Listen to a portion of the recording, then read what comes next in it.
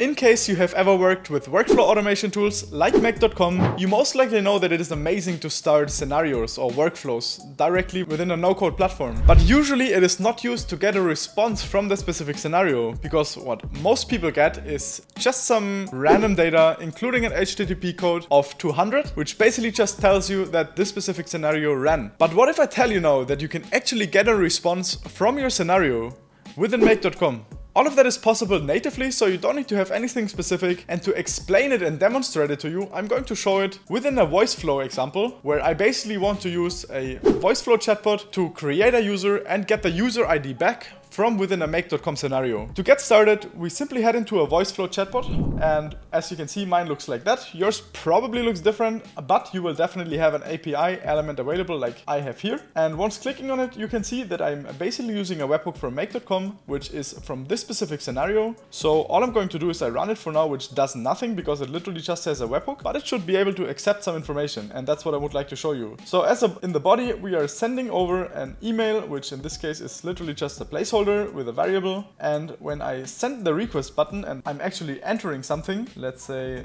demo email at demo.test and I generate it, you will see that make.com gives me back the standard response including the status code and the headers. So there's no specific information about the flow whatsoever. So in case I created a user here, it would have been lost. So it would not be there. To overcome that issue, we can actually do a little trick that Make.com also mentions, but it's not that prominent, which I don't understand why. But you can use the same webhooks element as an action to give a response back once a specific scenario ran. So in our example, let's say we want to actually return a user ID when a user was created. So we basically assume within this scenario, we created a user, we added some specific modules here, and now we want to send that user information back. So what we do is we add a webhooks element with a webhooks response as the very, very last module. So you basically have everything in between here. And we also send the status response to 100. And within the body, we can now actually send information back, which is very interesting because what we are going to do is we use a JSON construct to do that. If you don't know about JSON, I have a tutorial available on that as well on my channel, so feel free to check it out. And otherwise, we just head into it. I'm just quickly creating a demo JSON that basically just returns a user ID, which looks in that case like that. And we would say it's 1234. So this little JSON construct basically contains a user ID 1234. And now to actually make sure the response will be interpreted as a JSON, we click on the advanced settings and we add a custom header, which we call content dash type and as a value application slash JSON. Once I press OK, we are basically ready to go so now in case I'm going to send this specific request again, you will see that it's not only the status code, but it is also the user ID, which doesn't seem like because the scenario is off.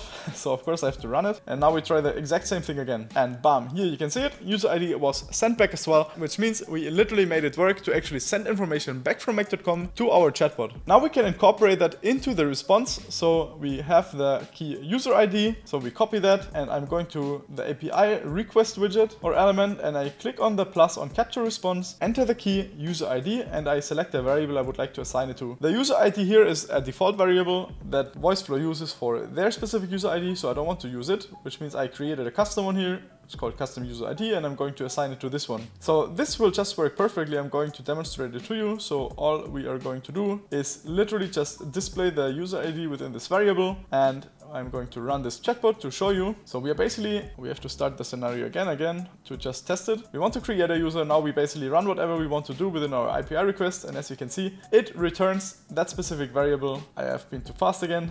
So I'm just gonna show it again.